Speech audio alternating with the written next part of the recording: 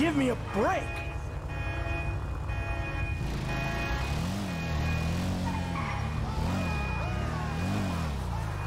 All right, that's enough! Just fuck off!